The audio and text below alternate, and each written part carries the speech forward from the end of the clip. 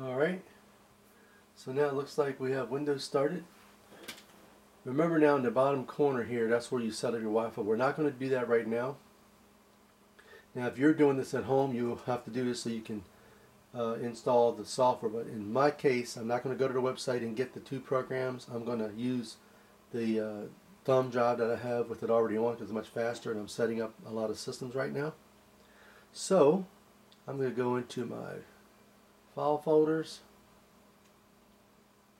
In this case, I have a thumb drive with the stuff on it already. The first thing I'm going to install is VLC, which is on the website in the software downloads. And it's going to take you actually to a link out to uh, the company itself who supplies this. I just say yes to all this stuff. This is the graphic engine, the, the video engine that I use.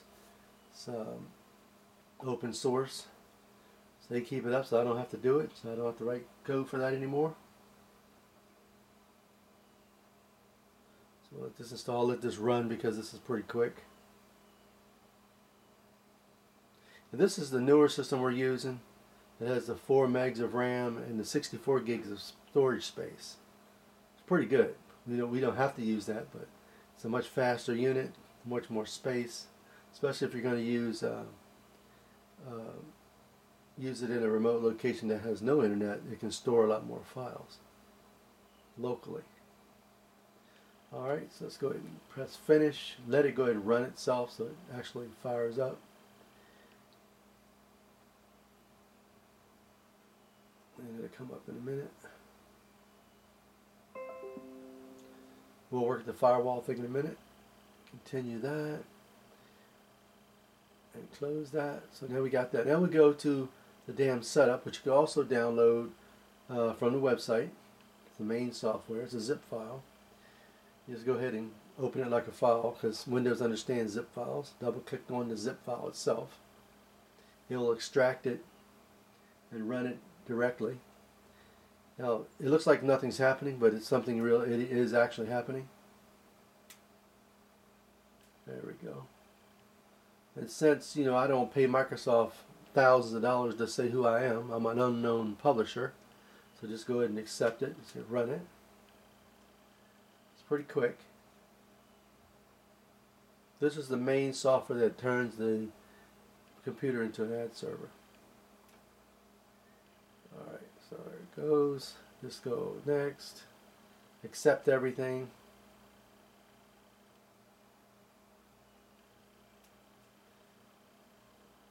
Alright. Now it's going to ask you to reboot. We don't, we're, we're going to finish. We're not going to reboot right now, so we say no. Just close these windows because we're doing all this stuff. Then we're going to go into the Windows uh, control panel, the settings which is the control panel. We're going to go to System. Make sure we make it so it doesn't go to sleep. So I'm going to Power and Sleep. Change that from the 10 minutes, whichever it was, go all the way down to Never. Remember these are going to be running continuously and don't let it sleep. Okay? Alright, see that turns the screen from, from not coming off and also makes the PC not go to sleep. Then while you're still here, scroll down to About. We need to name this PC. We gave it a, a, a, a description, but we're going to change its actual PC or device name. That's going to be equal to the network and the number that it is. So this is 09. It's the ninth one in the set. Say OK. Restart later again. Close that. Go over here to this little notification box. Turn on your firewall. So we'll hit that.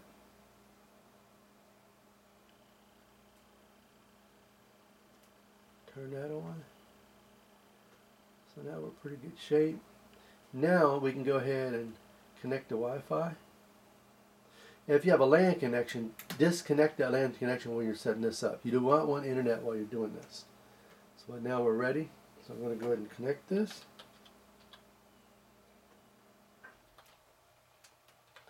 Let's see.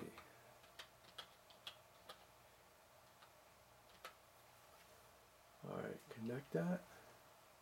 Make sure it connects automatically. It's going to ask you to finish setting up. We're going to go ahead and go through this process, but we're not going to do it. Because see, it's trying to get you into the Microsoft stuff.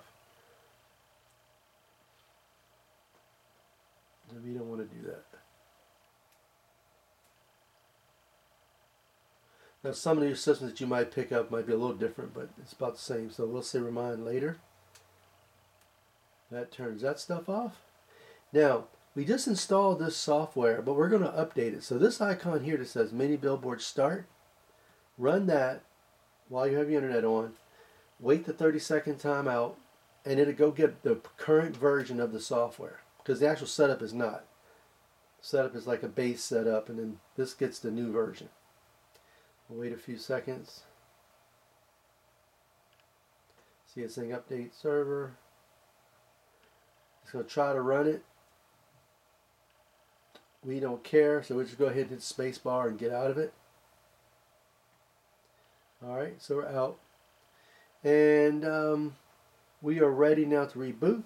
So I'm going to pause it and we'll reboot in a second.